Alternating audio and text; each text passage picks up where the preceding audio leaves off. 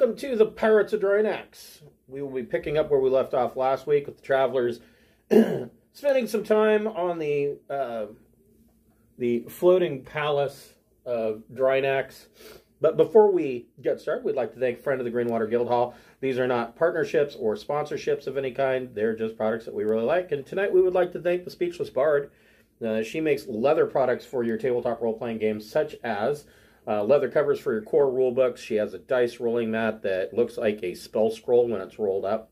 Um, it has this really cool new thing called the Spell Compendium that looks like a small spell book, and on one side of it, or the the main portion of it, split into one half can be used as um, a holder for cards. The other side is can be used as a dice tray, and then the back cover uh, on the inside has a magnetic spell uh, slot tracker. It's really pretty neat. Um, if you are ordering, uh, make sure you give yourself a little bit of extra time because she is in the UK, and so things can take a little while to reach us over here across the pond. If you're a fan of our Wednesday Night Traveller games, we do have a website via Obsidian Portal. Uh, the adventure log on that site is written in the manner of Traveller News Service articles, and uh, it deals with pretty much everything going on in the Trojan Reach and some news coming in from the outside. Uh, but as the travelers start to uh, take more and more uh, nefarious actions, they are becoming more and more front page news. If you like the site, please go to the front page and give us a thumbs up. We do like to see those fan likes, and we hope you enjoy the content. So, uh, you guys came back to the uh, floating palace, and uh, and actually, I don't know who did this, but it is a fantastic uh, picture of the floating palace. And um, so you guys came back to the floating palace of Drinax, and uh, you're going to spend a little bit of time here. You uh, received uh, on your way back um, you stopped, I believe it was in Palindrome, and uh, you somebody bumped into Ox and put a non-discrete black technological disc in his pocket. And you guys were real careful about what this disc was. You didn't open it at the wrong time or at the wrong place. And come to find out, this thing uh, was from somebody on Tech World, and they invited uh, you guys, and I, I, I say invited. So the first thing that you discovered was that this this disc has um, a bunch of information all on you guys uh, that you may or may not want people to have. Like it's got your full military records and you know any arrest warrants that are for you and you know that one time you got grounded in the third grade and what your favorite type of peanut butter is. I mean, everything's on this desk. And the last part of it was that it opened itself up, kind of origami style. And there's Carrie. Hello, Carrie. Um, it opened itself up, and a hologram came out, and you couldn't see the face of whoever this person was. They were wearing some kind of silver mask, but they invited you to come to uh, Tech World, and uh, they they invited you discreetly to come to Tech World, where matters of mutual interest and profitability may be discussed. So you decided that you were going to go back to the Floating Palace first because um, you know two weeks from now uh, the uh, um, Dame Coraline Petrovsky and the Rasputin class that you found on uh, is going to be showing up. And uh, you kind of wanted to. Well, I mean, let's face it, you guys need a little bit of downtime that's not bouncing around um, nefarious ports of call and being stuck aboard ship. You guys have been shot at, and you're probably just now feeling like you're getting back up to 100%. And so, um, you know, here you are at the floating palace. Now, when you came back and you basically told uh, King Oleb uh, of what was going on, Um, he, of course, is absolutely ecstatic about this. Um, this having a, a 1,000 ton uh, destroyer escort. That's probably uh, outside of Third Imperium or Aslan Hierate uh, navies. That's probably the biggest ship of any small polity in the in the subsector, or, or rather in the sector. Um, I don't know. The Florians might have they they might have a few uh, large ships, but um, no, nobody else is going to have anything this size. Um, so he's absolutely ecstatic.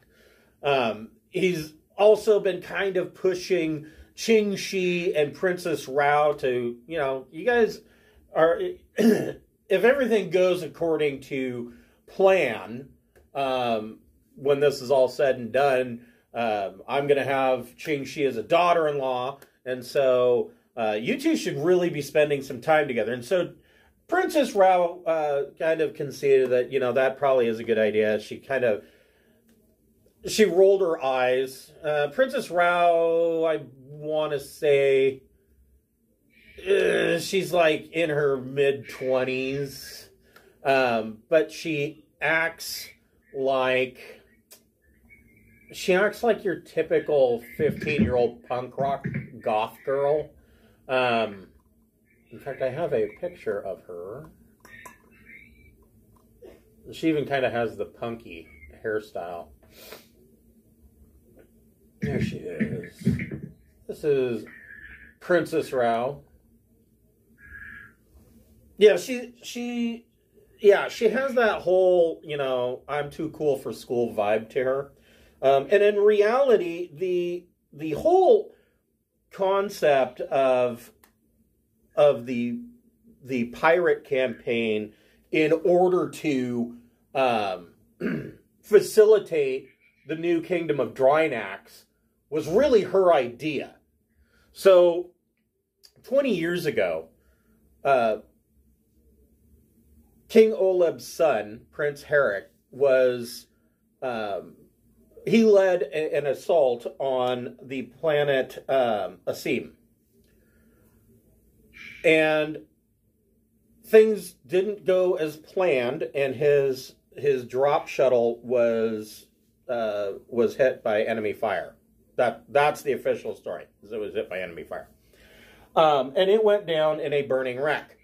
And you know, everybody was sad. They're like, "Oh my God, no way anybody could survive that."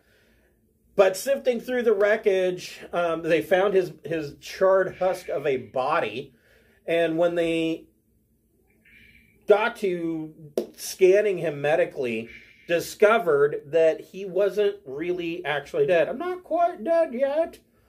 And uh, so they stuffed what's left of him into a low berth and brought him back to the uh, floating palace in Drinax. And uh, basically took the low berth and put it in the Scholars Tower. And for the last 20 years, the the medical texts of the Scholars Tower have been, um, well, I mean, the only way to say it is they've been putting him back together, quite, quite literally, rebuilding his body uh, cell by cell in a lot of cases. Um, there are numerous rumors around court that he doesn't really say much. He he has he has recently been allowed to finally leave the Scholars Tower. And the party has seen him, or I think at least Beth and Ching Shiih have seen him.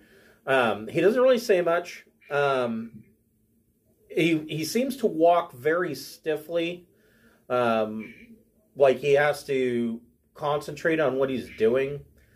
And there's a, there are rumors around court that you know that he's more machine than man, and you know nobody really believes that there's a whole lot of the real Prince Herrick left in him.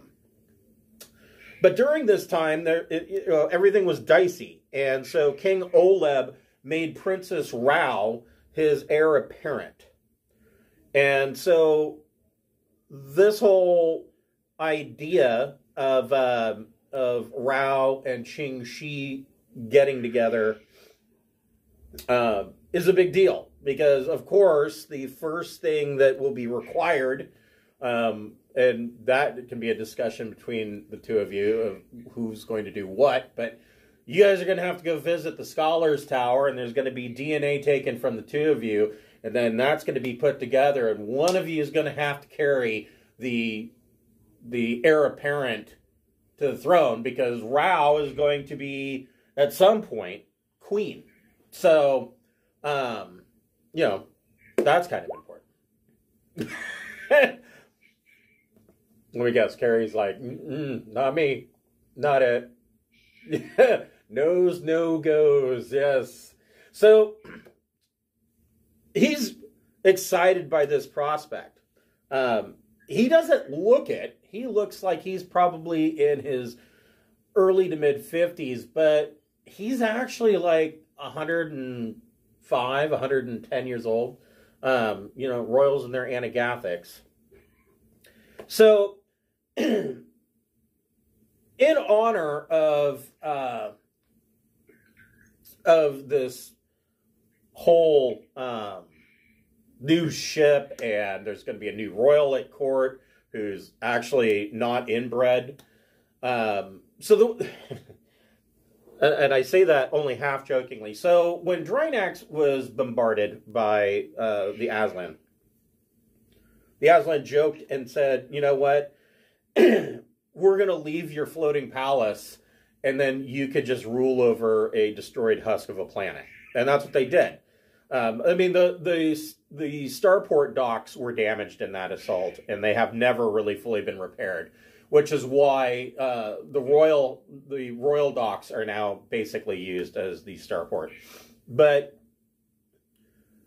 all the survivors that were left or were able to be picked up were put on the on the floating palace. And so everybody on the floating palace is related to everybody else and because titles are inherited and there were a lot of titles that were just given out as rewards, everybody on the floating palace is the such and such of somewhere um, as far as like a title goes. Everybody, the, the, the janitor that cleans up the royal bathrooms is like a baron of something.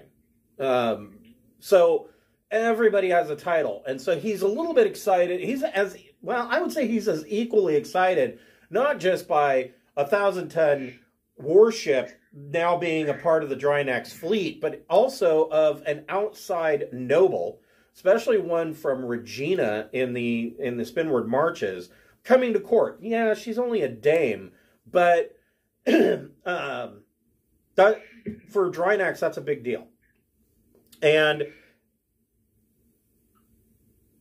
and I have the wrong book open.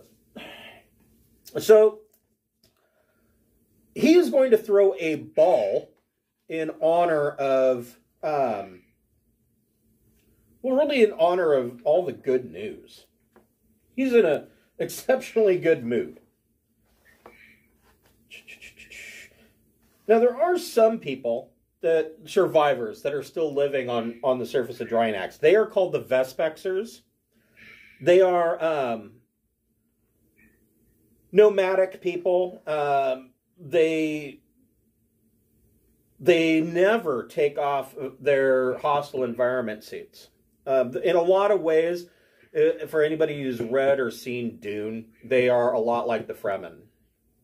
Um, they always wear their their hostile environment suits, never take off their helmets, even at court. They they don't take them off. And there is one uh, there is one Vespexer in particular um, that comes to court, and um, her name is Chieftain Gaux, and she is the representative, and she'll come to court whenever Drinax, or excuse me, whenever the floating palace is over that section of, um, or wherever they are of uh, on the surface of Drinax.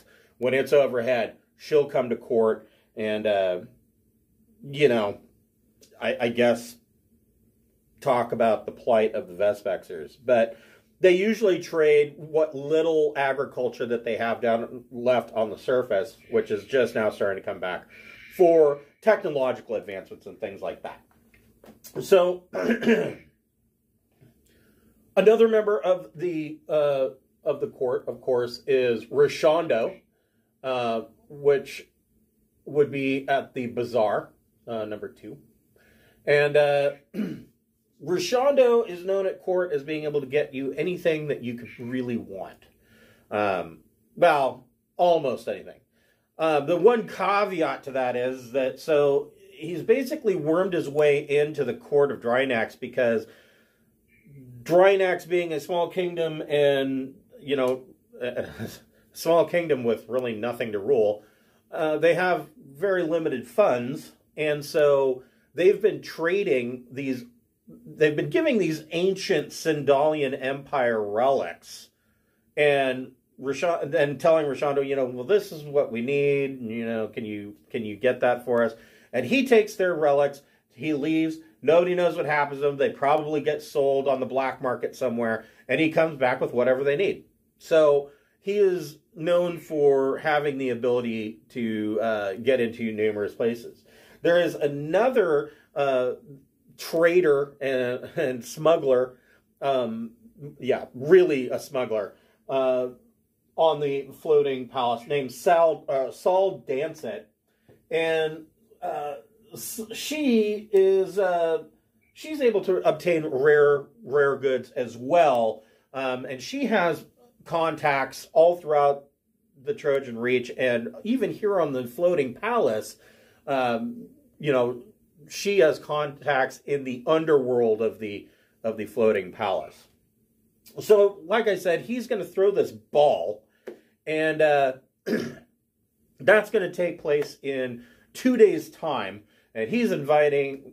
Well, no, it'll take place in a week because he's going to be inviting whoever is within jump range that can attend, and uh, you know he's putting the the word out. Um, especially, he's making sure that uh, what is this guy's name? the Imperial Consul Thau Pollock. Uh, Thau Pollock is a um, his he is the imperial con- consul that is uh, assigned to the Drinax court. Um, he he's kind of out of his depth. Um, he really likes to study the history of Sindal, and he's quick to tell anybody that'll listen that this what we're witnessing right here on the floating palace is the last dying breath of a once great empire. He seems to ignore all of the genocide and the killing of their own people and things like that, but, you know, whatever. so, Ching Shiih's going to go on her date to the Royal Gardens. So, she'll be down in 13 here. Down here. Rexar, while you are on the floating palace, what would you like to do? You can hobnob with other uh, courtiers. Uh, you can go shopping. What would you like to do? Last time we were here, I ordered a gravity hammer. Mm-hmm. That is true. Yes, you did. And I, I mean, it's been a while since you were here. Um, did you prepay for that? Uh, yes. All right. Let me find the flash drive with all the information. There it is. Yes. So yeah, uh, you can go pick up your gravity hammer. I assume you ordered that from uh, Rishando. Yeah. There's the flash drive.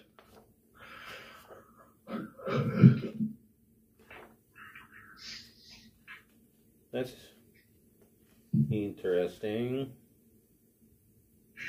Oh, there it is. So yeah, uh, wow, man, if you're going to use that instead of your Reaver axe, I mean, holy shit, that does a lot of damage. Well, I was thinking you combine the Reaver axe and the gravity hammer. That's going to be difficult. Simply, I mean, yeah, that's going to be difficult. but the symbolism. Yeah, no, they they the reaver axe mixing it with the um, static axe, I could I could see because they're essentially the same thing. Um, but I could turn it into like a halberd. yeah, no, th- this is a big this is a big hammer that um, with a gravity generator in it. So yeah. Yeah, but what if I just slap an edge on the end? no. Damn it. Dual wield them then. So yeah, you can go to the bazaar and see Rashondo about getting uh, your gravity hammer. What I'll the would gravity hammer. what would uh, Beth and Keith like to do? Uh, so I want to work on the bridge and make it uh, tip top. Okay, and actually, I already have something for Beth. Beth, you are being uh, summoned uh, to the King's Privy Council. Oh crap. Okay. You're you're going to. Uh, he wants King Oleb specifically wants you to sit in on the Privy Council. He thinks that you might have some valuable insights. oh, we'll see. So for dum dum dum dum, dum. Uh, and I have that sheet available. But evidently, I'm still incapable. So I will, uh, you know, after tonight, Keith, uh, you're going to get a copy of this sheet. I'm just going to scan it and send it to you. Um, although, I don't know, we might experiment with Roll 20 because now you can do PDFs in Roll 22. So, anyways, um, but you'll have access to this sheet. But for now, write down a note. Uh, you have 24 structural repair units.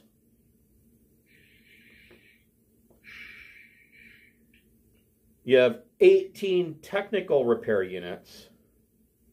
Okay. And you have 19 cosmetic repair units. Right. Okay. So the bridge, let's see here.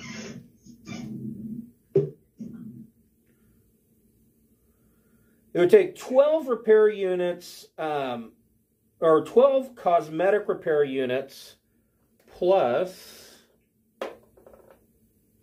two technical repair units, and the bridge for cosmetic repairs, the bridge would be completely done. New drapes, carpeting. As for time,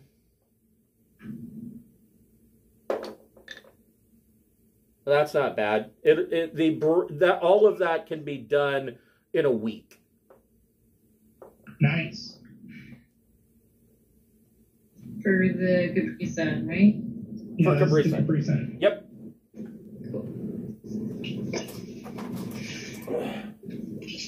Is, isn't it at Homestead? Well, you know, I thought about that. That occurred to me after um, after last week's game, and I am going to hand wave that and assume that on the way back you guys would have stopped and come up with a way of bringing it with you, whether that be one of you pilot it, whatever, because you have the ability to do that. So.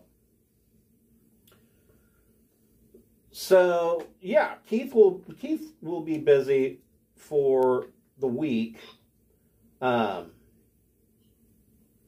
doing cosmetic repairs to the bridge.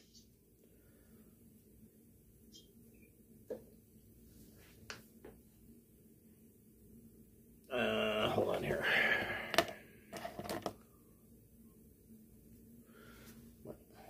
Right, right, right, right, right.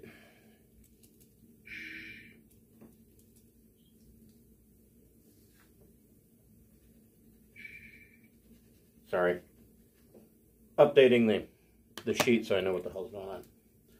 So that leaves you with 12 structural repair units and uh,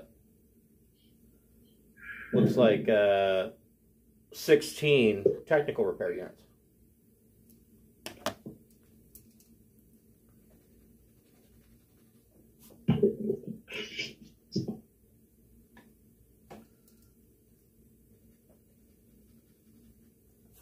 Wait, no, sorry.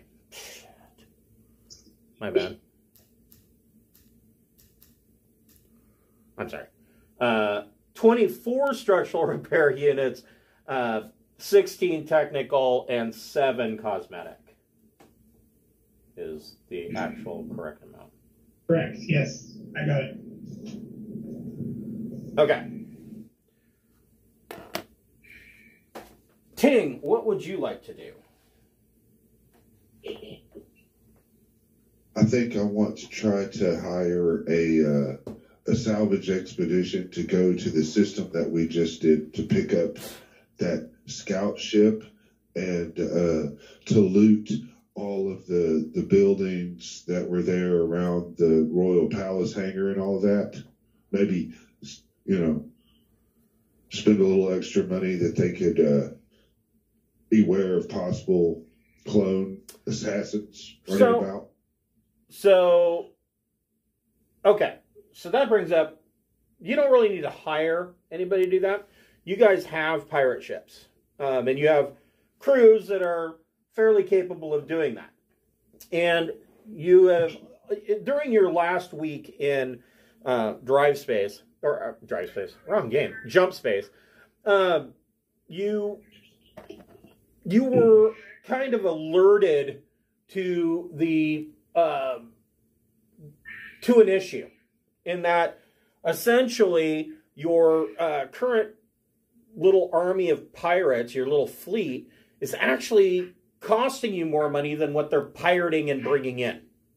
To the tune of, I forget the exact amount, but it was like 460,000 credits a month. So, right, you guys need to deduct 460,000 credits from your um, from your ship fund, and uh, so I mean that kind of that's for this month.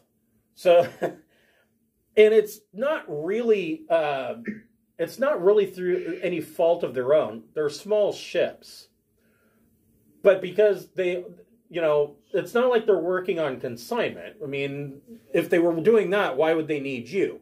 And so they basically hired on, and so their wages have to be paid, the ship's maintenance has to be paid, um, yada yada, and most of these ships are small. So it becomes very difficult for them to pull a profit. This is why most this is the number one reason why most pirate bands remain to be a small fleet if they have multiple ships. And of course, the second reason being that large fleets are easier to track and hunt down.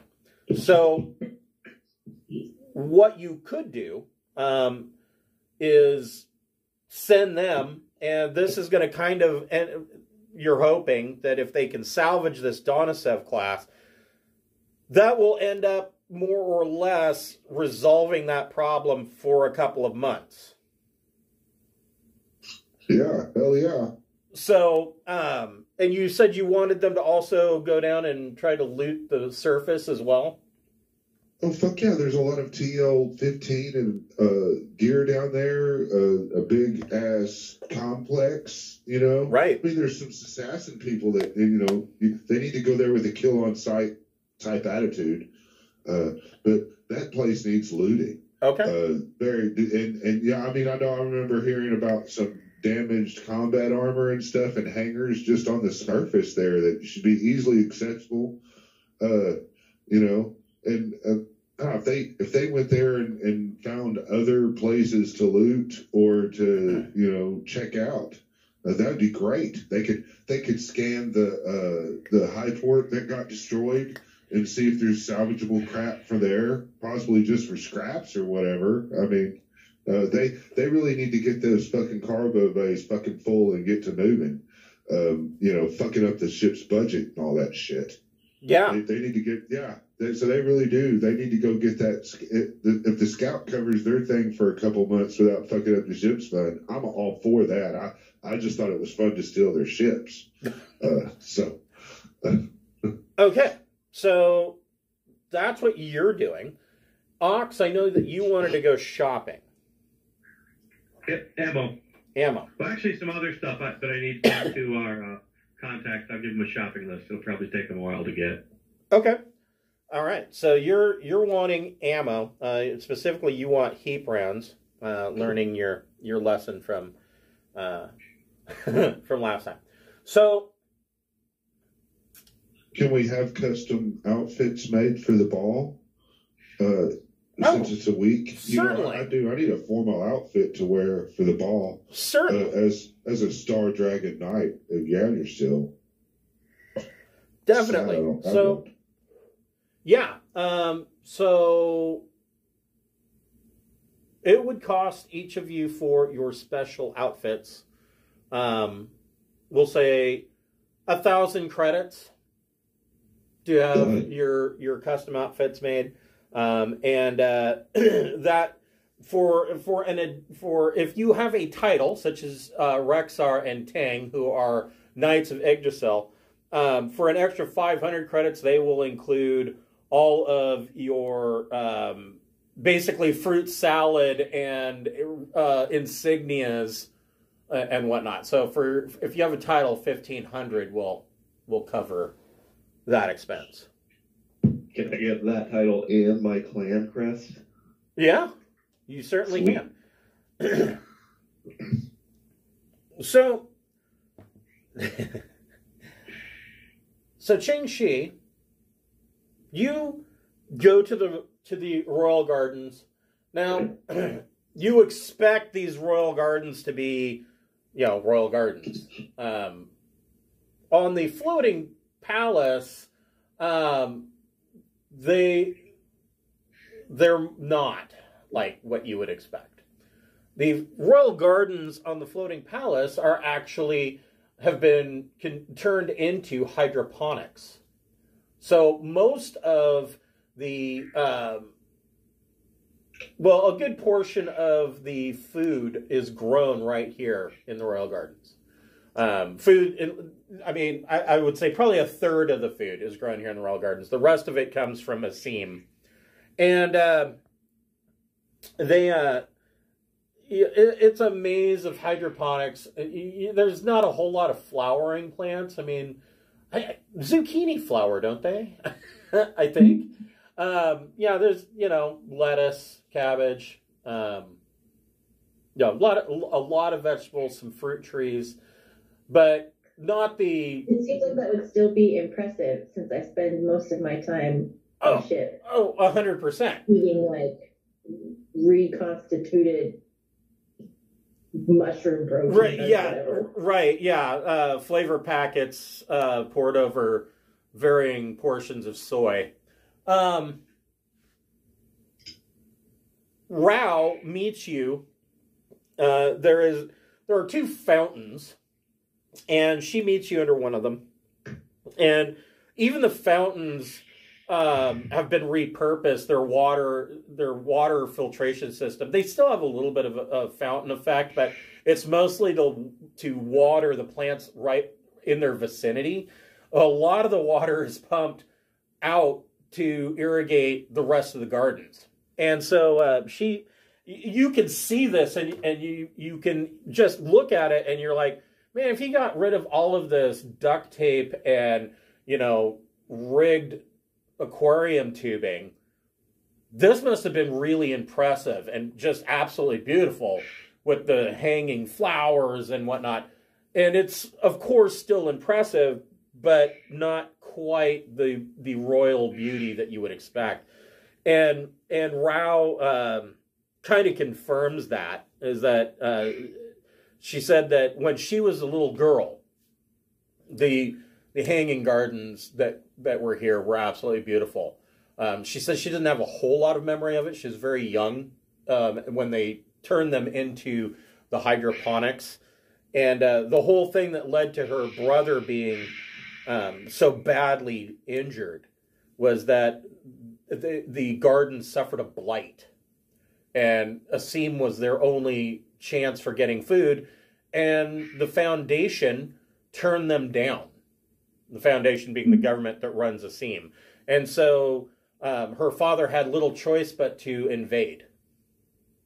And uh, Asim is now considered a chattel world um, under Drinax's direct control, but um, she wishes things would have turned out better. And so you and uh, you and Rao kind of spend your time walking through the gardens, kind of getting to know one another. Um, you seem to come to an understanding of one another. Um, she's a fairly complex individual. Do you have any questions for her? Or is there anything that you really like to know? Um, well, I guess my first question is like, what does she think about her dad's mission? Like, is she on board or ambivalent or? Well, I mean, it was her idea, um, and she, she of course, she's very on board. Um,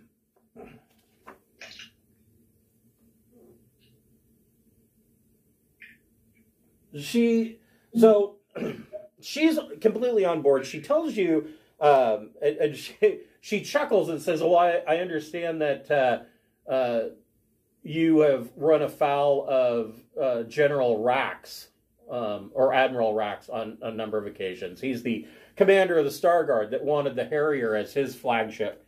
And she says, uh, Don't worry, he's not a fan of me either.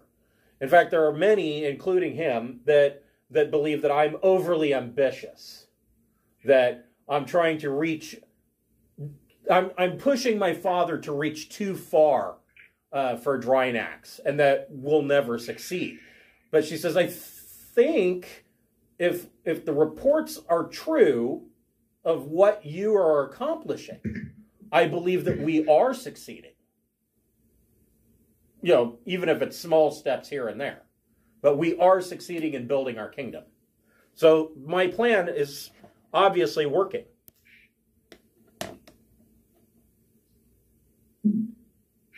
Okay, well, does she have any thoughts on how to bag bigger planets than where what we've managed? Because so far, you know, they're they're cute, but they're armpits. and she she laughs and she says, "Well, you you might end up being disappointed because most of the Trojan Reach is an armpit." um, uh, as far as getting bigger planets, um, Just at, because at some point, at some point, our disruption is not going to be enough. And so, I guess what's the plan when we re- reach the point that our just messing with people isn't enough? she says, um, "Make a make a make a persuasion plus uh, your choice, either social or charm." Oh god, kooky. Can it be like intellect? Can I try and outsmart her instead? Yeah, I'll let you use intellect. Yes. Okay. Uh, let's see. Persuasion. Um, 11, 13. So she she kind of winks at you and she says, I like the way you're thinking. And she says, Well, as far as gaining bigger planets, I don't know I don't really know how you would go about it, but if you could bring in Birney, that would be great. Because hmm. Birney is the last vestiges of the true Sindalian Star Guard. Basically, the Star Guard of Sindal went to Birney and said, We're going to hold out here until a legitimate emperor is crowned. And so she says, if you can convince them that my father is the legitimate emperor of Sindal, then um, they would come over to our side. They have a lot of uh, tech. They have a lot of old Sindalian ships. In fact, they have uh, schematics and blueprints. They're actually building new Harriers and Mhm. other and Rorik's command ships and you know old Sindalian vessels. Um, so that would be a huge feather in our cap. She says, but you're right.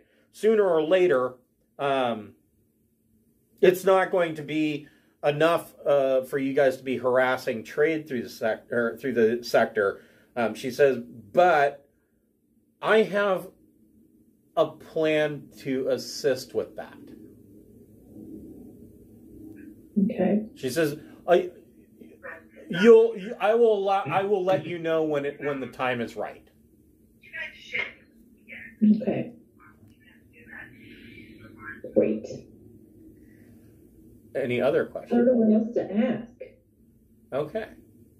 What kind of is there any uh, other any new backing to support your father's claim?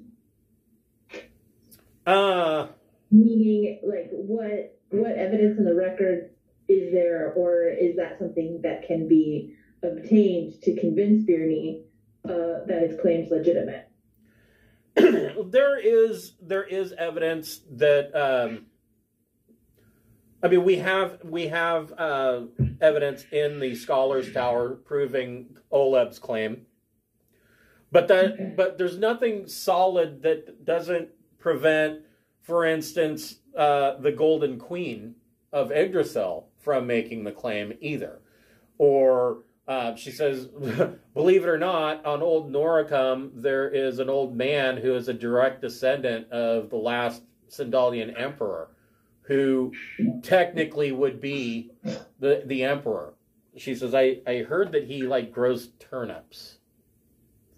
Um, but aside from from that, she's like, it's not like any of their claims are any, are any stronger or any different than my father's.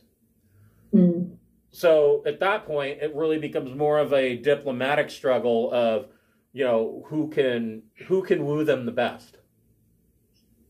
Speaking of wooing, has your father tried to woo the Golden Queen? Um, they through courier, um, the Golden Queen has signed a, a agreed to sign a um, mutual defense treaty for the Trojan Reach as a whole.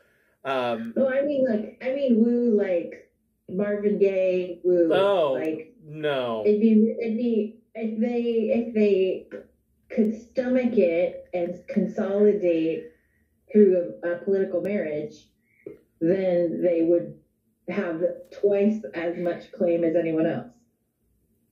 she she stops and thinks and, and looks at you and she says that's very true um she here's the problem with that though and Mm. and she says i don't if, if that were to take place it, let's let's say that they did that and and produced an error. My life would be in in jeopardy. My brother's life would be in jeopardy. And probably all of your lives would be in jeopardy. There'd be ways to make sure that a new heir was not produced. slip condoms into, into the royal chambers.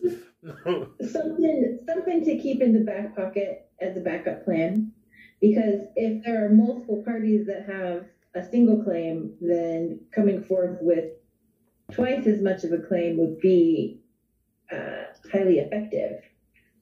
That is true. That all right that's a very good point. Okay. Finally uh Ching Shiih make a recon plus intellect check i was going to say and then i'm going to give her a don't fence me in speech and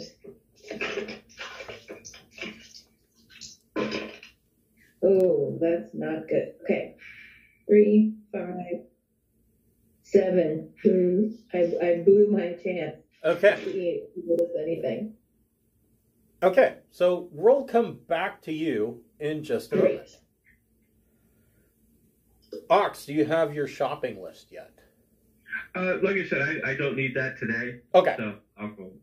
Um, but I would, you know, we just got a, a nice big payout, yeah. So I'm going to take, uh, you know, get some nice clothing. yeah. Um, uh, I think I got everything else I need that, so I'm going to take fifty thousand of that, and I'm going to go party and gamble. okay. Whether I come back with any or not, that's immaterial. So- I mean, it's always good to win, but the gambling is what's there. being a Vargr, um, Ox's idea of nice clothing is almost blinding to everybody else. There's like a cacophony of different colors, all extremely bright and very garish. Um, as far as going and gambling, you do find um, that there are some um, um, there are some street games going on, like in the bazaar. Um, there's no actual, you know, um, official casinos, but there's some there's some tents and whatnot that are set up that uh, that cater to the whole, uh, you know, dice rolling, small card games, things like that. Um, any uh, use carouse and recon and see if there's any you know, like in the fancy hotels. You know, like I found that uh, Admirals game last time. Right. Go ahead and make I'm a looking for a high price poker game somewhere. go ahead and make a streetwise check. Okay. Okay. I hate how roll twenty drops that last thing where it's a pain in the butt to get to for input other values. Right. Yes. Twelve. Okay. so you do find a uh, you do find a game going on, um, and let's see here.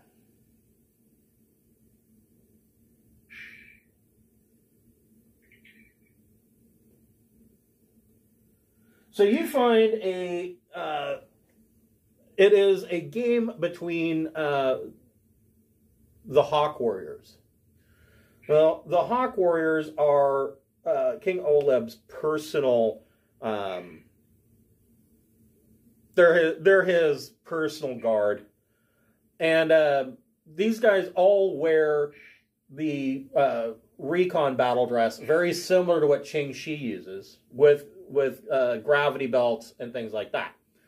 Um, King Oleb likes to go flying around with the Hawk Warriors, except King Oleb's girth is big enough that he has to wear two gravity belts. And, uh, you know, there are a number of uh, underhanded compliments to uh, about the the the queen the king's great girth um, and uh, but these hawk warriors they are having a uh, a game in the uh, in their barracks, which would be uh, number twelve. Number twelve sounds like a good spot. So yeah, I like you, that number. yeah, you are you are over in the twelve area, um, enjoying a uh, rousing game. You know, I have an idea. Let's see. I will do this.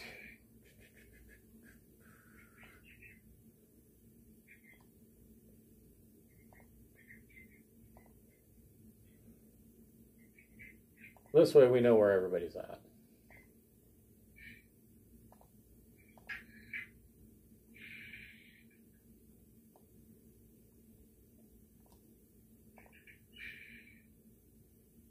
That is a big ching ching.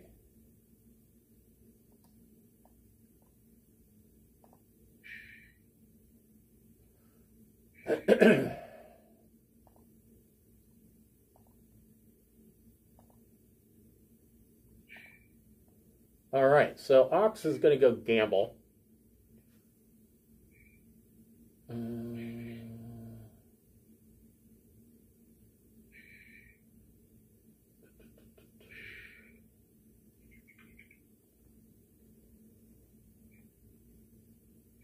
the captain is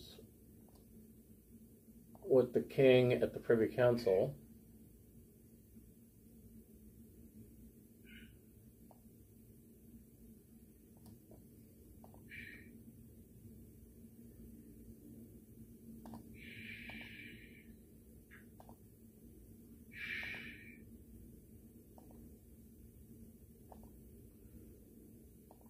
Rexar is at the bazaar.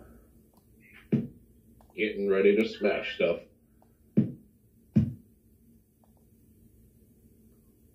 Probably just itching to try out that gravity hammer.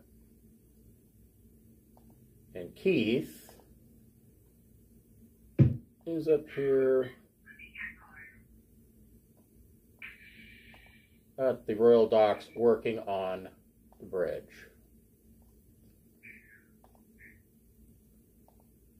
All right. That's better. Now we know where everybody's at.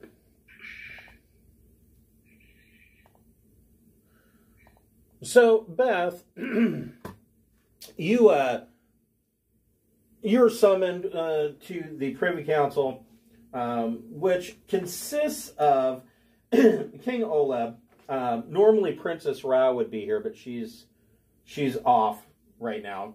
So, Oleb, Lord Rax, uh, Scholar Voha, um, Casil of the Arroy Eve, uh, who is uh, Aslan exile.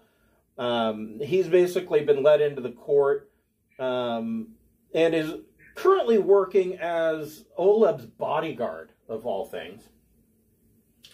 Um, Imperial Consul Thal Pollock. There's a woman named Lady Hill. Um, she is an influential noble in court. Um, but she's a very, very much a snob, and she's not particularly um, happy that you've been invited. Um, Lady Hill doesn't really have uh, much time for anybody that can't trace their lineage all the way back to Old Sindal. Um, so you know, she she doesn't have time to talk with the help. Um, also, here is. Um, a, a man named Cleon Hardy. So Cleon, when when Drinax invaded and defeat and took over uh, Asim, um, they overthrew what they th- their their government was called the Foundation, and Drinax, of course, overthrew that. But instead of just putting their own nobility to rule the planet, to ensure loyalty, they invited the inhabitants to, to elect an ombudsman to bring their concerns to the court. And so Cleon was chosen as their representative. He has no fucking clue what he's doing. Um, and he's actually a economist and was a, a TV broadcaster on Asim. So he has no idea what he's doing. He is sitting there nervously kind of fidgeting and uh, just kind of listening and trying to figure out how he fits in. And also present is Chieftain uh, Galx, uh, the Vespexer representative from the tribes on the surface of Drinax. And so they they bring the uh, the the session to order, and uh, Lord Rax immediately um, comes in with uh, the fact that with with the um, with the Rasputin class destroyer escort, this this will make an excellent flagship. I should be given this ship so that I can command the Star Guard. And uh, the, the, everybody at the table just like the the session's just been called to order, and this is immediate. The, the hammer is still warm from striking the gal the the table, and this is what blurts out of Lord Rax's mouth. Um, and Oleb is just kind of looking at him like, Jesus, man. like, calm down. right, right.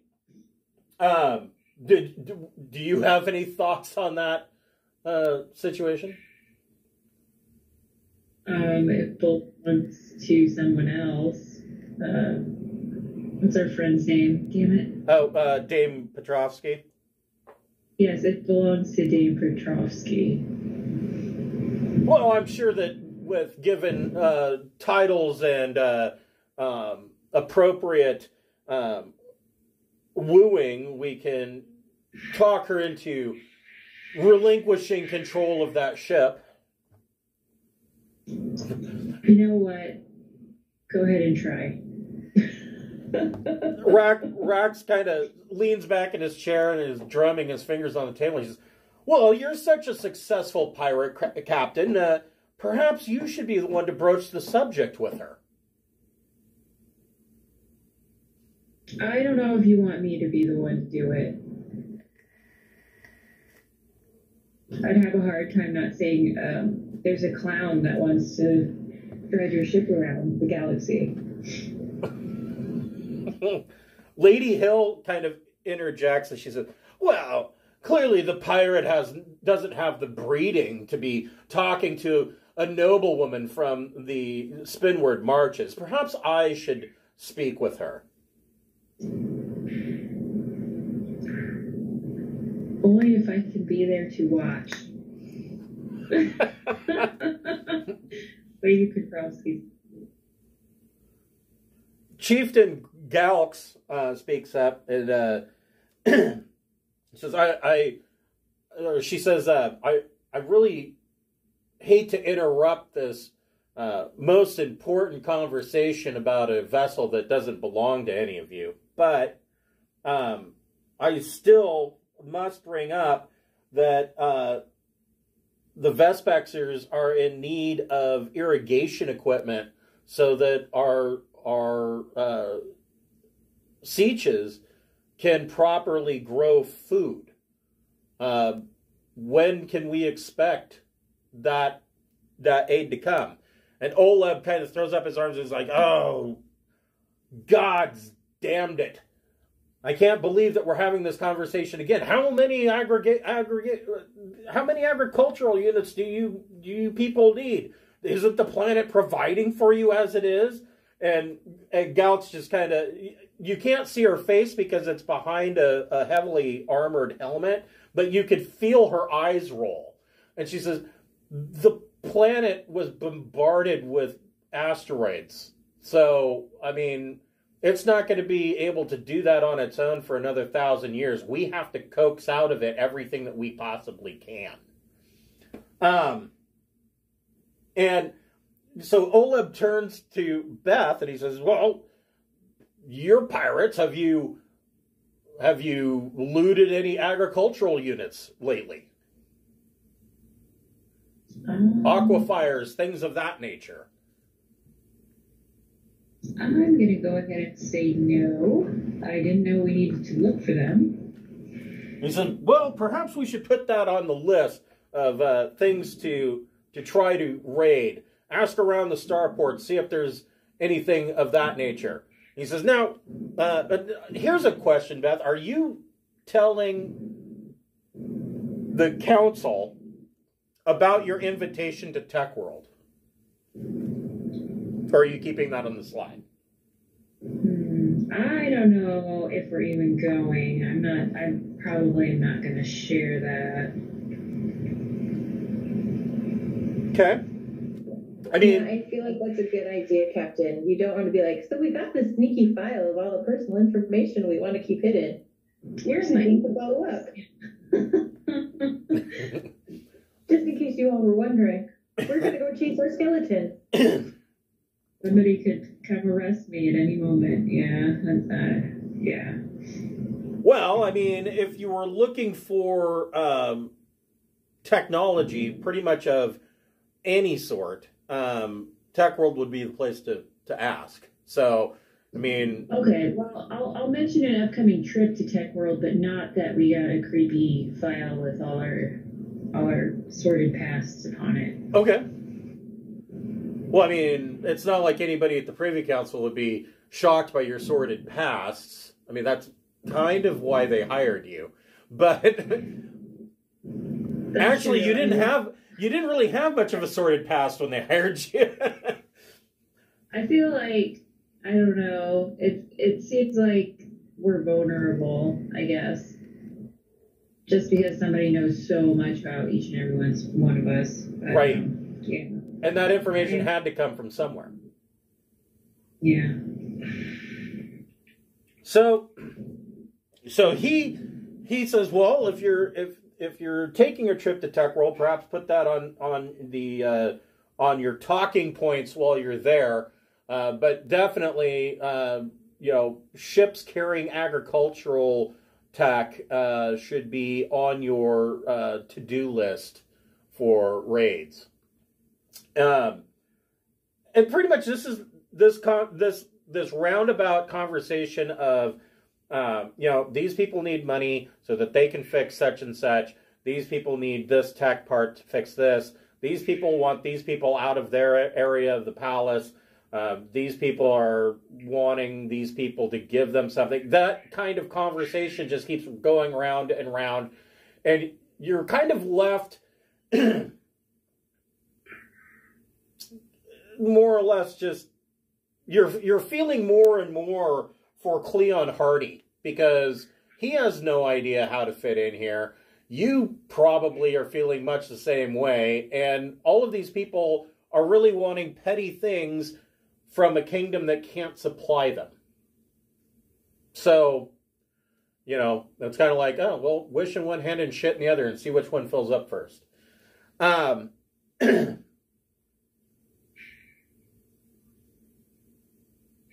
you all convene back to your uh, to your royal uh, suites, and pretty much the week goes by.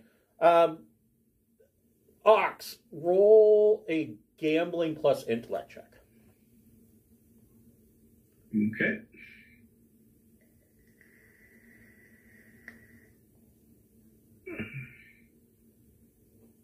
Gambling, gambling, gambling.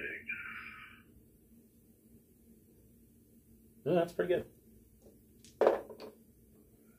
So you're able, you are able to make uh, throughout the week another three thousand credits. Okay. Um, Can, can I spend that uh, entertaining the uh, people I'm gambling with? you certainly can. Yeah, buy, I'll bring, buy the pizza, buy the beer. you certainly can. You could spend that buying drinks. Uh, yeah, by yeah, I, I like the Hawk Guards. They're, they're a friend of mine. Yeah. yeah. By the time that you're done, the the Hawk Warriors really like Ox. Um, you've plowed them with uh, some of the best wine that you can find at the bazaar. You've uh, basically um, got them all inebriated over the course of the, the past week that they are quite enamored with you. Always good to have the loyal Royal Guard happy with you. That's true. That is true. So the the night of the ball comes, and this is kind of what it looks like in the grand or the great hall. Now, keep in mind, most of these people are actually people that live here, um, but there are a couple of uh, of representatives that have come in. There are a couple of uh, Aslan uh, that have shown up.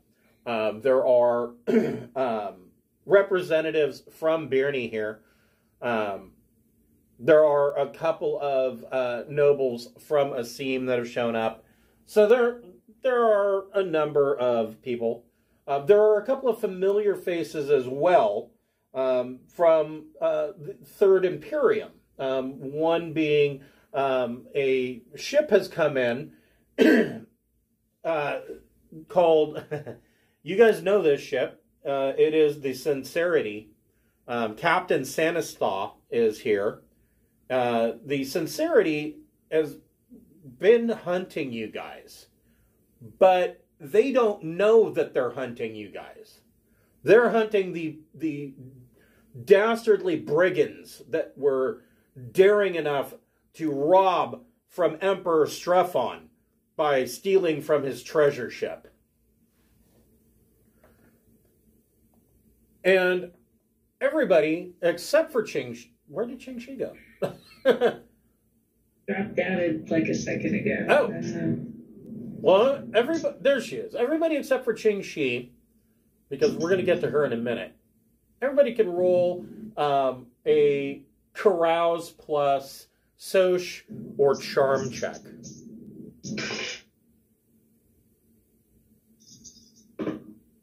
six for me. Not good. Yeah. I also got six. Yes. What about Tang? I'm looking at my character sheet. Ooh. I remember the captain. Does he remember our last game of Yeah, I poker? got a five. Play. Eesh. Gosh, we Okay. are we are some charmers. Rexar, what'd you get? Hold on, I'm looking for my dice. There. You got a 10? no, I said I'm looking for my dice. You said plus Soch? Yeah, either Soch or Charm. Can I roll with a Both are boon? equally bad. Now, Because now Rexar, in your case, if you want to try to hobnob with the uh, Aslan, you can use your territory score instead. Oh, I'll take the plus four over the minus one. Uh, with the plus four instead of a seven, it's an eleven. Okay. So the first thing, so Ox, you're hobnobbing around, and you're actually doing quite well, um, getting to know people. Even Lady Hill is uh, amused by you. I mean, amused is like about the the extent of it. She still doesn't like you, but you're at least amusing her. Um, Feelings mutual. you are talking amongst many of the people. Now there are representatives here from Marduk. Um, let's see what let's see Marduk, Torpol, Clark. Um, yeah, there there is a a uh, what is what is he called a psychopomp from um, Torpol here, and they are the psychopomps are a religion. They they have a verbal agreement to join the Kingdom of Drinax, and um, part of that verbal agreement is that Prince Herrick will be um, basically become their new space pope, and so they're doing what you know. They're they're basically while you're on the court acting like 14th century bishops. Um, and uh, but you hear the same thing rumored throughout the ball is that uh, there is a large fear that the Aslan are going to invade, and essentially um, that these planet that all of these representatives from these different planets are are talking that they don't have a choice but to join the kingdom of Drinax because if they do not, the Aslan will overrun them. And the overlying belief in this is a treaty that has been released. Um, now, being a part of the crew, I don't know how much the captain has told you guys, but they found on the treasure ship when they looted it a fake treaty. And they have taken this treaty and basically been using it as leverage to get these planets to join. It has had the twofold effect of working, but now everybody's scared. so, um, yeah, the yeah, there's this belief that this treaty is real, and uh, it, it's kind of like you know the flat earthers. you know, no matter how many times they're told that the treaty's fake, they're still going to believe that this is the real thing. Rexar, um, you learn uh, two pieces of, of information. The first being that um, um, the Aslan Hierate, and you know how the Aslan work. They don't work as a single government. They work as individual clans. But you're hearing the same thing. There are three different clan heads here, and you're hearing the same thing from all three of them that um, there's really no uh, overriding uh, desire at this point to do a mass invasion. Um, but they are there are plenty of discussions that the Ihatei problem uh, is coming to a boil, and these these second sons have to have some place to go. They have to have land, and the only option right now for that would be the Trojan Reach. So um, there's no there's no big Aslan uh, plan to invade, but at the same time, they're they're not really doing anything to say no to these Ihatei. And the second piece of information that you that you find is that the the real treaty, um, which basically said that the Aslan won't invade any worlds within, I believe it was within uh, 20 parsecs of Imperium space. I might be wrong on that, but it, it's it's there's a buffer. Um, that original treaty, they they bring up that that was only made with one clan. It wasn't made with the Aslan Hierate as a whole. All clans aren't really required to follow this treaty. They're simply following it out of a sense of honor. But they're feeling more and more uh, pressure from these Ihatei that, um, you know, maybe maybe we shouldn't follow that treaty. It, it wasn't made with our with our clan, so maybe our second sons should go and do what they want. Mm. All of you have realized that Ching Shiih is not at the ball. What? Princess Rao's at the ball, but Ching Shiih is is not present. She is absent. I guess we'll ask Princess Rao where she is. Princess Rao uh, tells you. Uh, Princess. The first thing she she says she she looks at Beth and she says, "That's a a very lovely outfit you're wearing. You you you did quite well with that." But um, I don't know where Ching Shiih is. I was hoping that you knew that she should be here. This this ball is partially about us. Oh, jeez.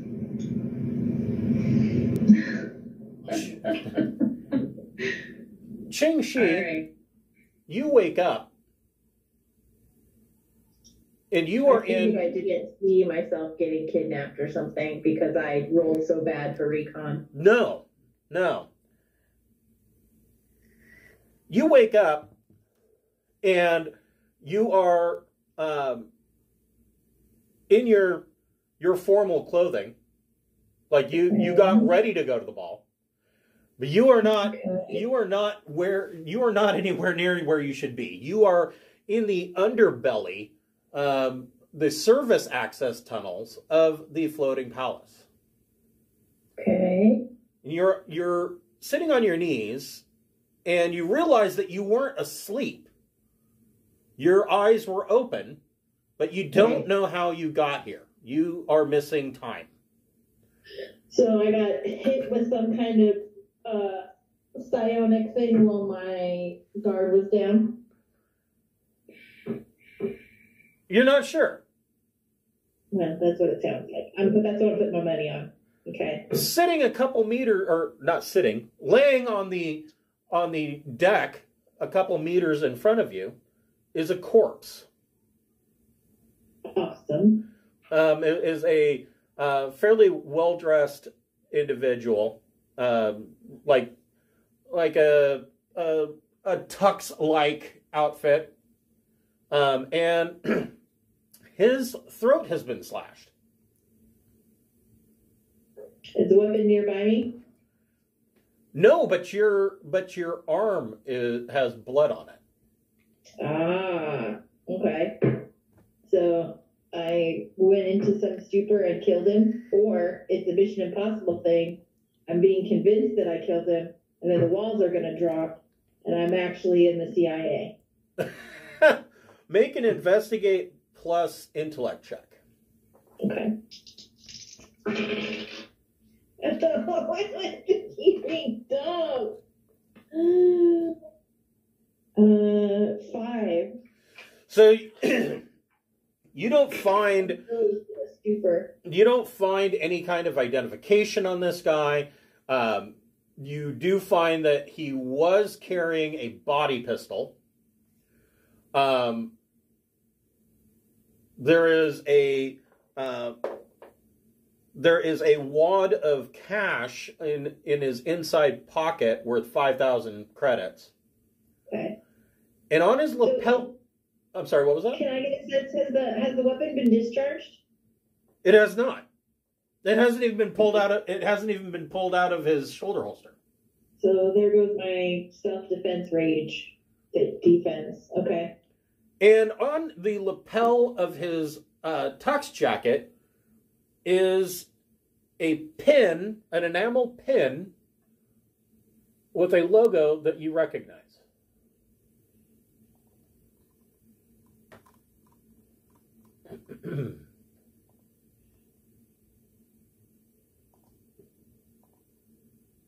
Well, I'm glad I got to kill somebody from Jericho.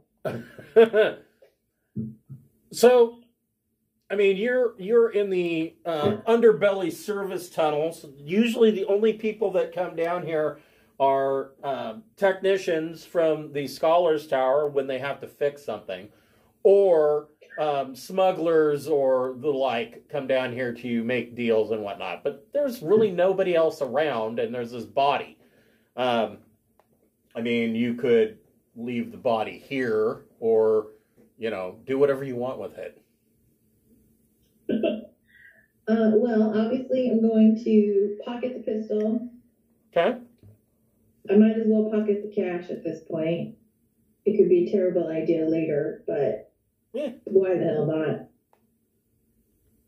Uh, and then I think I'm going to like shield myself Okay. psionically against any uh like uh offensive telepathy or anything like that. Okay. Um and try to GTFO. Okay. Wait, but before I go, can I search him for identification? So you that was part of your investigation, and you don't find any ID on him. Since I since I found something, can I try again? Sure, I'll let you try again. Surely, I, I mean, I feel like common sense would be like, there's got to be something on him. I'll keep looking. Okay. If I suck it up, it's just as bad. I'll, I don't know, snap a picture of his face and then move on. Oh, that's more like it. Mhm. 14. Okay, so you so I'm do looking for ID or a com dot or something like that. you do find um, you so you do find his mobile phone or his mobile com. Um, it is locked, um, Sure. but uh, you find a uh, an I you you find a uh, security ID that basically denotes him as a um, I'm trying to think of the name for this. It- it's basically like a um, a corporate ambassador. Okay. Um, and then my last question is, do I have my comms? Since I was all dressed up and ready to go. Oh, yeah. Like, Oh yeah, have you, it unless someone took it off me. yeah. No, you you've got your mobile com and your your com dot.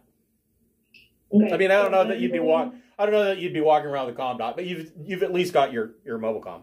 I don't think anybody Sure. goes anywhere without a phone.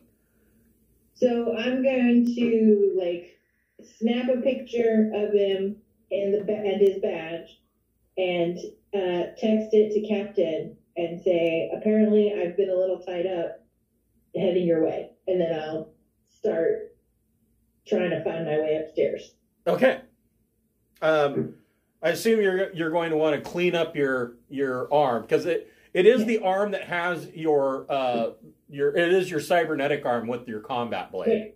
Yeah. Yeah, I'll wipe it off on a shirt All and right. then get going. Just wipe it on his Unless I'm back. dressed in red. If I'm dressed in red, I'll swipe it off on myself. So after go ahead and make a uh go ahead and make another recon plus intellect check.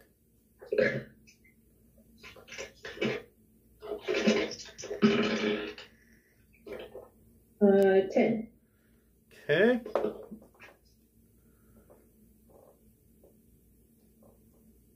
So it takes you about another 15 minutes, and you're able to find your way out from these tunnels. Uh, not a easy task. You've never you've never had a reason to be down here. You've known that they exist, but you've never had a reason to be down here. You find your way out, um, and uh, you know, kind of clean yourself up as best you can. You know, in the in the nearest ladies' room and uh, make your way to the ball. Um, Awesome. And you know, as as you arrive, people are still coming in, and you know, there's there's obviously some guy at the door. That's his job is to announce people as they come in. Um, you know, so and so, the bumpity umph uh, baron of what have you, um, and how do how would you like to be announced? Oh, well, I know. Uh, you, they announce you as you come in. The he announces uh, out to the entire ball. Um, Ching Shiih, uh, royal consort in waiting, Awesome. and uh, so everybody is is now present at the ball. Um, any any conversation between Beth and Ching Shiih? And are you going to let the rest of the party know that Ching Shiih just murdered somebody in her sleep? Maybe, allegedly. Maybe it was staged. I'm putting motion. I'm putting like GPS trackers in in all of you. you're you're gonna chip everybody. yeah, you need a chip so I can track you. In So anybody I else. only, I only told Captain. I Okay. only sent the message to Captain. So Captain can decide what to do with the information. Um, if there's anywhere we can all get together, we need to get our story straight. For one thing. Yeah, because I mean, it was noticed that Ching Shiih wasn't at the ball on time. Yeah. So I I can't claim to have seen her before then. But do do you think there's there's no way there's cameras or anything in the service tunnels? Probably not. No, that's one of the reasons why smugglers and bandits use the service tunnels. So who's the best liar out of our group? I think Ting. Whoever's got the highest persuasion. My guess would be Tang or Ox. Yeah. But I mean, if you want to, if you want to laugh, you could let Rexar do it. I've got I'm not a, I've got a, I've got a deception of one, and then I also I have a social of plus one and a charm of plus one. So if we got a bonus on our social due to this bringing in the big thing, I'll I'll have a plus two there probably. Yeah, that's true. Um, that is a good. That is a very good point. Everybody can add one to their social. So whatever your your total social score is, you can add one to it because that bringing in the Rasputin is a big deal. All right, then yeah, I'll have a I'll have a plus three to my deception roll or persuasion roll, either one. Okay, so you guys need to decide where you saw Ching Shiih and when. I'm guessing like outside the place, maybe hiding out before going in. Maybe she looked nervous. She's nervous about the ball, about being announced or whatever. Okay. Um, Yeah, I'm I'm a scallywag who's not sure I want to be tied down. Uh, Do you want me to? You want me to tell him that, or do you want me just to come up with a lie that why you were late? Uh, either way, or or uh, something else. I'm just thinking of like what would be believable that I don't know that I'm ready to for this commitment. Important thing is that if cops get you in three rooms, they get three same story. That's the important thing. Well, it's. I'm very sorry for your loss, James C. Your grandmother passing uh, has definitely upsetted you, and I saw that it got your stomach upset. And that is why you did not make it here. Uh, uh, gosh, uh, that's, that's probably the reason why you're not ready to get married just yet, because you're in a period of mourning. Yeah, That's exactly. that's pretty good. Very.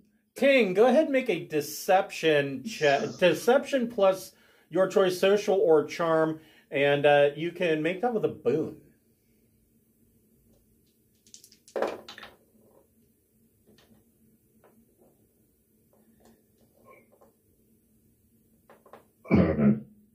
I'm sorry. I've got to roll one more d6. It's got to be better than a one. A four. So four and five is nine, plus three is 12. That's 12. Okay. So, as Ting is saying this rather loudly, uh, loud enough that people around can hear, right? Over uh, Ching Shiih's shoulder, uh, you hear, "Oh, darling, is is that why you were you weren't acting yourself last night?" She, and Princess Rao comes up and kind of hooks her arm with Ching Shiih, and she she says she was acting rather strangely last night, and uh, uh, I, I was so worried. Uh, you know, she just wasn't acting herself. This that explains so much. She says, uh, uh, "Don't Can I get a read on if she's being sincere or if she's just going along with it? Yeah, go ahead and make a uh, go ahead and make a deception plus intellect check. Okay. Or do you want me to do it uh, telepathically? You could do that too. Okay. Your choice. I'll do it telepathically. I mean, yeah. If I'm gonna, if I'm going to be betrothed to the person, then she might as well know that I'm psionic. Well, she'll only know if you fuck it up. Oh, fair enough. Okay. Let's see. Seven. I think I just made it. Eight. Okay. Um, she is being deceptive. Um, Okay. so, but you're not, even telepathically, you're not getting the whole story. You Sure. you are getting uh, images that you were indeed with Princess Rao last night, um, doing what you probably were going thinking you were doing, but then after that, um, somebody else came to her apartment. Um, a dark skinned, dark haired man. Okay. And that's the last that you remember. Um, but from her, from what you're picking up telepathically from her is that uh, she turned to you and said, "Take care of the problem," and that's the last thing that that you get. Wow. Okay.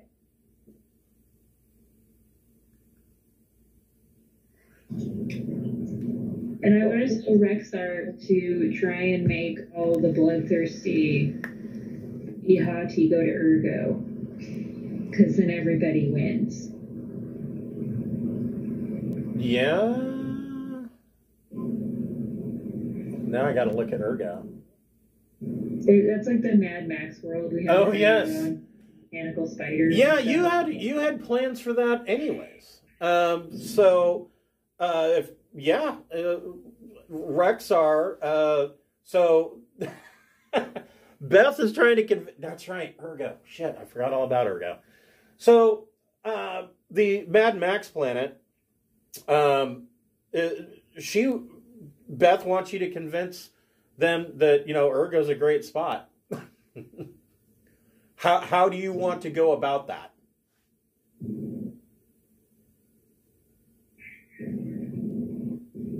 Me or Rexar. Rexar?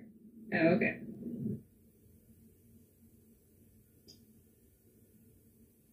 Are you there, Rexar?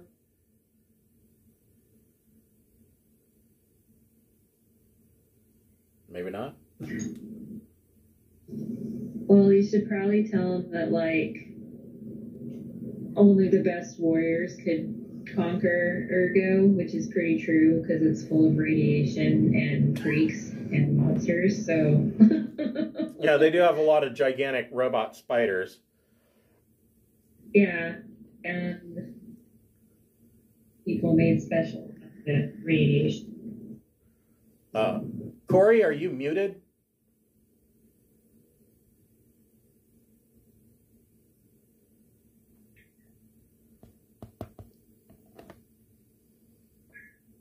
Hold on a second.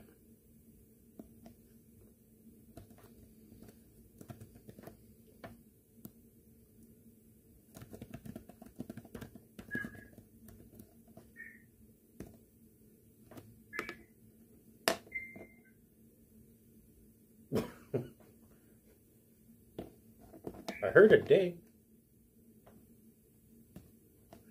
So Rexar goes over and is discussing with the uh, Aslan heads. Is there anybody that you guys want to go and mingle with? Oh, he's back. So Rexar, um, Sorry, I had to pee. no problem. So, so the captain wants you to try and convince the the three Aslan heads that uh, it would be an excellent target for the Ihatei to invade Ergo, the the Mad Max planet. Uh, okay, uh, uh, bring the three Aslan heads together and say, You didn't hear this from me, but Ergo would be a great place to earn some glory. Prime planet for a, a great battle. Go ahead and make a um, persuasion. Oh God, is it deception plus territory? Uh, yeah. Well, I mean, I'm not lying. It would be a good place for battle. That's true. You go ahead, your choice, either deception or persuasion plus We'll go with persuasion because I have a zero in that. Uh, plus my four from my clan. That is a twelve. Okay, so these three Aslan heads are fairly interested. Um, one of these people, one of these Aslan, no, don't laugh because I'm probably going to butcher his name, um, is an individual named I see Ul. And uh, to the rest of you, Asiul, uh, all you you basically know him as some kind of Aslan noble, um, Aslan leader. Um, Rexar would be the first to tell you that Aslan don't really have nobles. Um, that's just no. The whole concept of nobility is not something they really do. Um, but his status is vague. Um, it's it's not uncommon for Aslan to flaunt their clan affiliations or their rank within a clan um, as part of their defining characteristics. But Asil never never seems to do this. Um, on a few rare occasions that he's answered questions on the subject, he's given a variety of names for his clan and never the same clan name twice. But for some reason, in the Trojan Reach, this guy is really important. And none of you, including Rexar, can really figure out why. Um, but he is known uh, pretty heavily for making use of private couriers and mercenaries um, and a variety of experts for hire. He finds this information um, incredibly interesting. Um, now, he does bring up to Rexar, he says, but I thought that Ergo was a, a an irradiated wasteland full of mutants.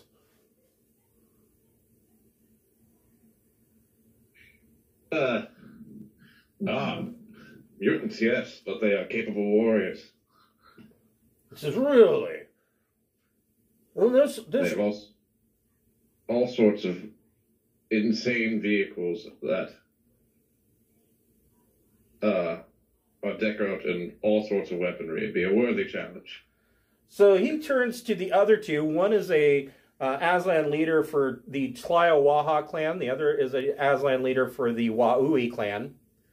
And he says, um, "Well, this this uh, Rexar seems to be an honorable uh, Ihatei himself. This could be uh, very doable. We we could perhaps focus on Ergo, and uh, you know, at least uh, cause this to be a bit of a pacification. Probably not a long-term resolution to the problem, but uh, at least a stopgap measure. For the rest of you, is there anybody else that you would like to chat with at the ball? Yes, I'd like to chat uh, with the captain see if he wants to do another uh, poker game. And how how's that search you're doing coming? You find the any pirates yet? Any leads? Have you blasted them into space? Okay. So go ahead and make a uh, persuasion plus soch uh, check. I'm rolling good tonight. Eleven. Okay. So this is this is really your first time meeting him, and you weren't with the group um, when they pulled off this heist. That just it, Right. it did not go at all. I I was going to say it didn't go as planned, but that would imply that they really had much of a plan. Wasn't he at the party with the at the Golden Palace? uh, I think n- played poker with him. no, this is a that was a different guy. Um, Different guy. Got it. this this guy is uh is he's a, this guy's in cap he's a captain of a much smaller ship he he's a captain of a um, um of a patrol corvette um he doesn't have a fleet um but he himself personally has taken on this almost religious like fervor trying to find the bastards that had the dare daring to actually assault uh, the emperor's treasure ship and so but he he's impressed with your with your uh, um, he's impressed with you mostly because of your standing with Drinax.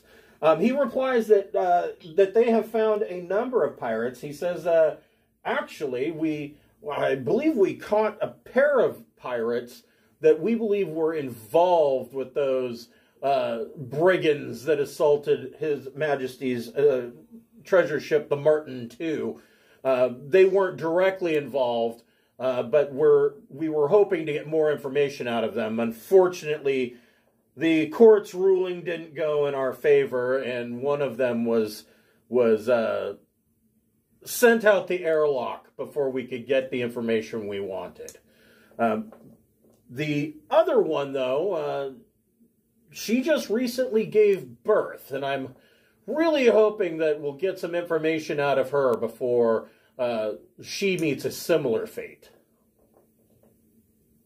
Okay. Good luck. Uh, yeah, I'll drop names telling me I heard about the was talking with the admirals and that over the Golden Palace, and uh, hope, hope hopefully you can find them. It should be a good boost to your career, and it'll clear the spaceways for us uh, law-abiding people. Man, you are laying it on thick. You know what? I can do it. I but had no involvement with any supposed uh, robbery. well, technically speaking, uh, neither did the two that he captured. So, the two pirates that he captured, the group had um, captured a uh, Captain Ferric Redthane, and uh, he was basically wanted for doing a raid on Torpol and a raid on Clark. His girlfriend, uh, Maria Silverhand, um, she was involved in that as well. And the deal was that they would get in good with the Lords of Thieves if they did away with the problem of Ferric Redthane. And so they captured Redthane and they convinced him that if he turned him so the deal was that if he turned himself in the uh, psychopomps of Torpol were going to carbon freeze him and put him in orbit around the planet as a uh, a warning against other pirate raids. And so they convinced him to do that and then told Maria Silverhand where he was so that she could come in and pick up his frozen body and thaw him out. And that was that was not as successful as they had hoped, and they both got captured. Um, the rest of Ferric Redthane's pirate band was absorbed into their fleet, which is where a good portion of their ships have come from. Um, so he, he relates, you know, that story um, more or less, minus who they were really attached to, because he's still not sure. But he's hoping that his current um, his current legal motion in the courts will do a stay of execution for Maria Silverhand so that they can continue to question her about um, her affiliations. I'll let uh, our captain know about that as soon as I can. I'm not going to bust in it during the ball, but I'll let her know in case uh, an accident in prison needs to be arranged. yeah, right. Yeah, because yeah, Maria Silverhand knows too much. Uh, or, or you know, if there's victims that need to come forward and demand that she be executed right away. But that's above my pay grade. I'll pass that on to the captain. I was I was actually thinking about wanting to try to to kidnap the captain and see if if we could make it look like the Assalon took him. I don't know. Framing the Aslan for that could have some dire ramifications. Uh, probably worse than the fact that you've got an imperial um, do-gooder hunting pirates. I mean that that could really, really blow up in your face. Yeah, but it it could also make the Imperium and the and the Aslan at least whichever one we pinned it on their their little clan. Uh, they might spend time uh, going at each other. We could, you know, That's true. it's just a thought. But uh, you know, if we if we were able to kidnap this guy and put him on the Aslan ship with his little tinger pinger or whatever, and the Corvette wiped out an Aslan ship to go get their guy that got kidnapped. You know, it's it's just stashing the guy with him being unconscious for a day or two. I mean, how hard could that be? Give him a little tea and crumpet routine. I don't know. That's up to you guys. Uh, well, I mean, you know, you said big, big plays. That that would be one. That would make the news. It, it would make the news, but I think it might make the the Aslan and the Imperium uh, a little upset with the Trojan Reach. Oh, they. Well, I don't know if they'd be mad at the Trojan Reach if we just if they're mad at each other. They're less to do business. They, the more military altercations we could get them to do, uh, it would be really easier to beat the winner. I don't know if Mara Silverhand's going to talk because if she hasn't said anything by now, I don't know. Yeah, she's What been sitting we in jail for to- over nine months. Yeah, and then she, they tortured her already and all that shit. So I don't- What if we? I don't what if we know- kidnap the captain and trade him out for Silverhand with a, a, an exchange brokered through one of our pirate lord friends? We gotta figure. Well, you know what? I want to solve the problem where Ching Shiih like loses all memory and murders people first. I That's mean, at the top of my list because we might be next. We don't actually know that she She's murdered people, but Right. I mean, you're calling it a problem. I mean, is it a problem or an opportunity?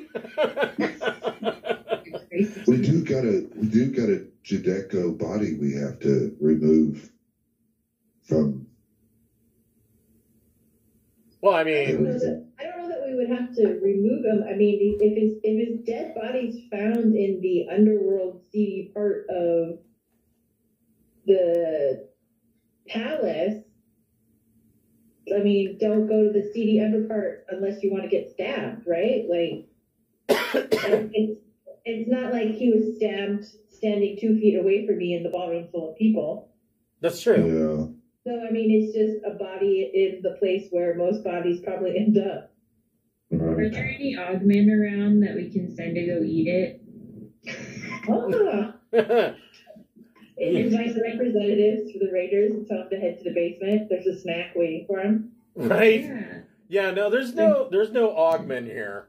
Um Yeah, no. So that that's that's one of the other pieces of news that are that is floating around. um, that uh, there's a lot of talk about how um, there was a lot of hope that that Ogma was actually going to basically pull their head out of their collective asses, and uh, you know all the the Ogman clans were going to to um, unite behind Chief Hannigan, and uh, but as so often is the case with Ogman raiders, they uh, murdered the Chief Hannigan and are now back to infighting and going back to raiding.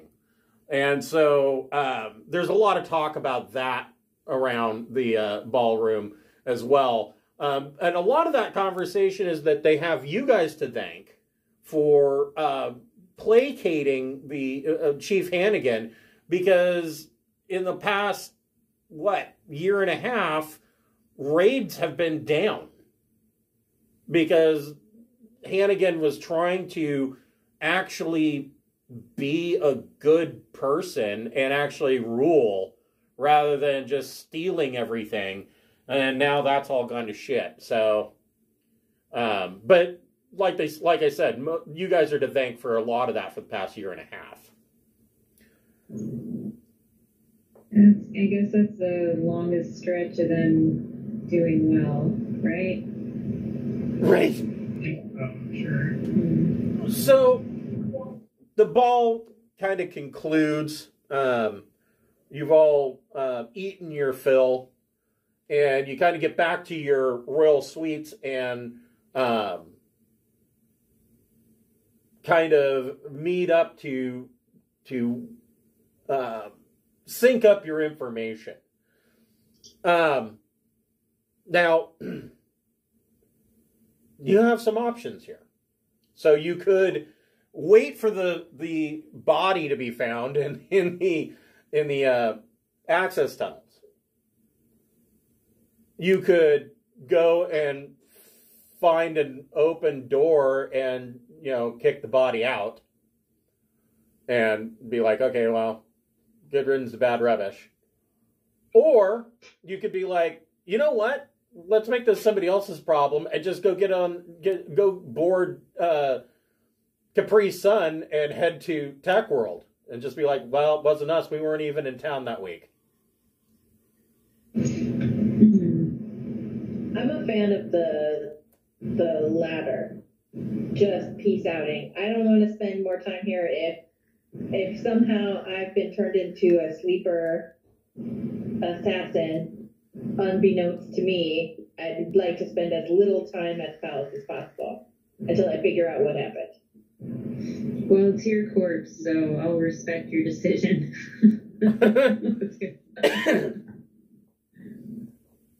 All right, so you guys are gonna. I'm personally all for peace outing. I would like to make a purchase before we left, Okay, if I could. what would you like to buy? Uh, um, I actually wanted to buy that Pioneer battle dress armor. You can you can put in a um, order to Rishondo. So Rishondo's question, wow, it's just you just want Pioneer battle dress? Um, well, I mean, it's got that. It's got that sensor suite built in that so Pioneer battle dress is more like an industrial version. Pioneer battle dress. Yeah, The combat Pioneer. It's a TL thirteen protection twenty three. That right there. That's that's what I want to buy. So. Uh-huh, uh-huh, uh-huh,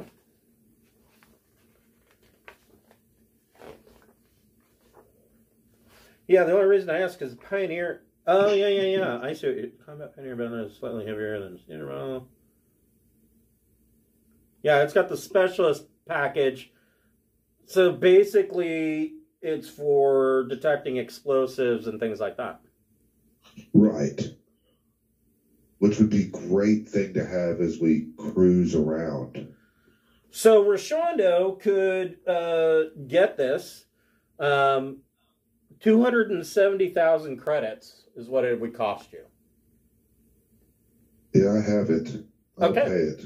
So go ahead and pay it. The next time you are back at the uh, floating palace, he will have uh, Pioneer Combat Battle Dress for you. Okay. He Thank you. he says he's not sure where he's going to acquire this, but it will be available. Thank you. So, Ching Shiih, go ahead and make an astrogation check.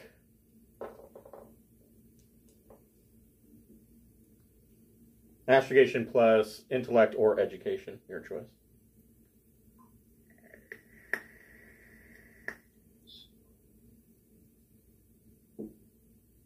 Eight. Okay. And go ahead and make a piloting plus dex check.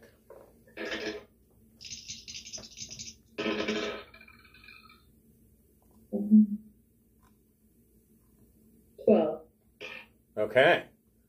So you guys next morning board up uh, the Harrier, and uh, it is the bridge is way super nice now, and uh, Ching Shiih uh, plots the course and takes off from the floating palace, and about forty-eight hours later you are at the 100 jump point limit. Uh, Keith, you can make a engineering J drive plus intellect or EDU, and you get a plus two to that. Did you say a plus three?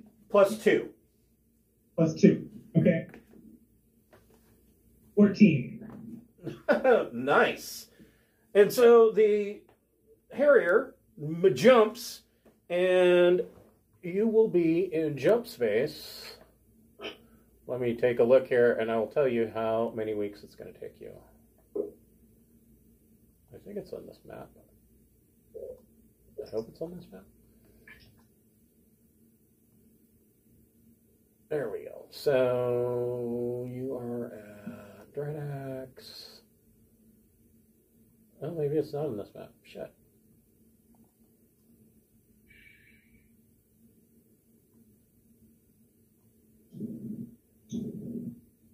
It's on one of these. Hold on.